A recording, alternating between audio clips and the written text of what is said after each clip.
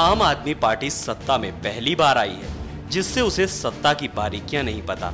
लेकिन जिस पार्टी को आम आदमी सबसे ज़्यादा कटघरे में खड़ा करती है, उसी पार्टी के वरिष्ठ नेता अब आपके मंत्रियों की क्लास ले रहे हैं। बीजेपी के वरिष्ठ नेता और पूर्व वित्त मंत्री यशवंत सिन्हा ने बजट पर आम आदमी पार्टी के विधायकों की क्लास ली। इस क्लास में सिन्हा ने नए नवेले विधायकों को बजट की बारीकियाँ सिखाई। यशवंत सिन्हा देश के वित्त मंत्री रह चुके हैं। ऐसे में उनके अनुभव से आम आदमी पार्टी के बजट को आम लोगों के लिए कितना बनाया जाता है, ये देखना होगा। सिन्हा ने बजट की सीक्रेसी को खत्म करने की वकालत की। राज्य को भी बजट के लिए तारीख निश्चित करने की सलाह दी। वैसे तो मीडिया के लिए सिन्हा ने पहले ही हिदायत दे दी थी, इस कार्यक्रम का राजनीति से कोई लेना देना नहीं है।